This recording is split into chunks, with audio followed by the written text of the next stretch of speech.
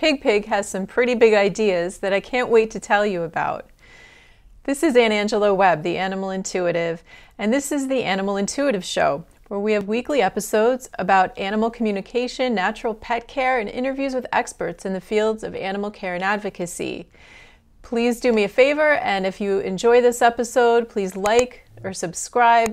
It helps the show a lot to beat the YouTube beast algorithm.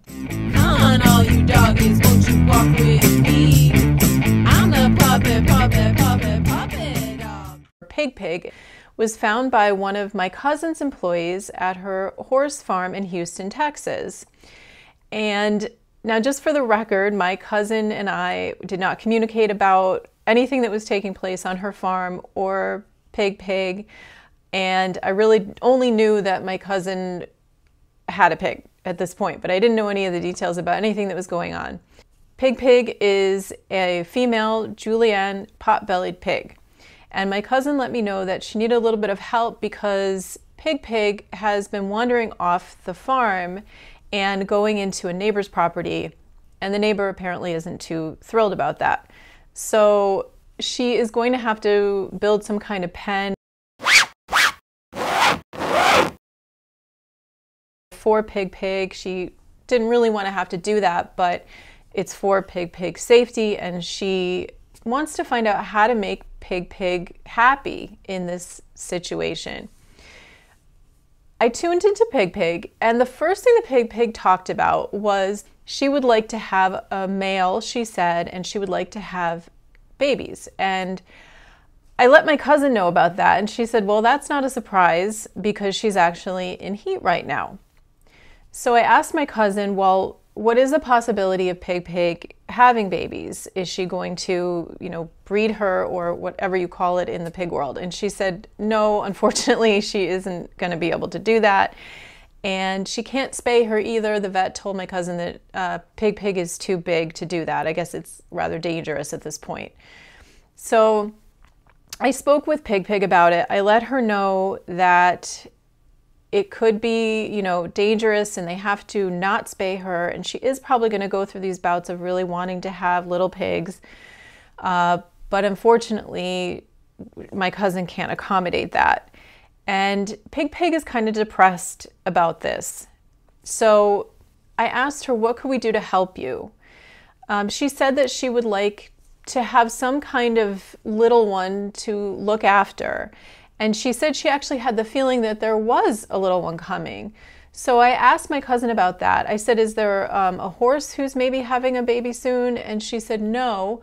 But that's also not surprising because that very same day, uh, a foster dog, a German Shepherd, was actually going to be having puppies on the property. So I brought that up with Pig Pig, and she said she would be interested in getting to know a puppy. And my cousin said that she could have Pig Pig introduced to the puppy. She did do that today, actually.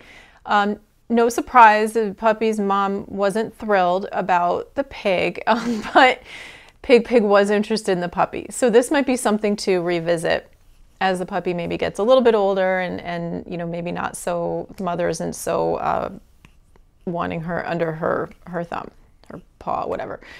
So um, my cousin also wanted to know, you know, what's going on with this wandering off the property. And you know, Pig Pig just said to me that she is attracted to a scent at the neighbors. Um, kind of a mystery, but she said there was something of a, a blood smell, and the word hunter came up. So cousin doesn't really, I don't think she knows, but you know, there was something going on with that that she's attracted to what could make her feel better about a little bit more about just being on this property. And she said, I really feel the desire to dig. And I, I did get the word like truffles and um, something about a sprout, a plant. And she said that she felt like this had something to do with actually her relationship with my cousin and that there was some kind of destiny in the fact that the two of them met. She feels like there's something in this that is going to be happening down the line, but just hasn't unfolded yet. Pig Pig is pretty new there. Um, she's still she has incorporated herself into their lives, but she's still relatively new. So um, she actually comes into their office and um, into their home, I believe, at times. So she's really, you know, cared for and loved. And I guess there's more to their relationship, but sometimes when you're communicating with an animal, you get information about something that they sense or that they feel or know about their relationship that is kind of in the, the beginning stages. And that's what I felt was going on. There's something about her relationship with my cousin that she's come to her, and there's something more to it that perhaps could even be another um, a field of work or um, an addition to the work she does on this horse farm. And in fact, my cousin had, you know, touched in with Pig Pig, done a little bit of communication with her, and she told me at that point that she was getting hedges. So there was something green there too with her. Um, so we'll see what happens, and maybe I'll be able to report on that if you know when when that unfolds. Pig Pig did also mention that she felt um, again with the land that she felt like she was really connected to the property and felt like she should take on a more uh, matriarchal role. And this probably connects with her maybe being in heat and wanting little piglets. But it felt to me like she kind of wanted a, a bigger role and a, almost like a title in a sense. Um, and I let my cousin know about this. So she said, you know, we'll see about that, what we can do. I don't know about her being the matriarch, but, you know, perhaps that will be something that they can find a way to help her with. And she also said she would like toys in her pen. She'd like to have something to play with. And especially if she does have a young one there, and there might be a possibility of a little pig. So my cousin is looking into that as well. Um, so they might be able to to play a little bit in the pen. And my cousin's looking into toys for her. So let me know below. Do you think Pig Pig should be given the title of matriarch of my cousin's horse farm?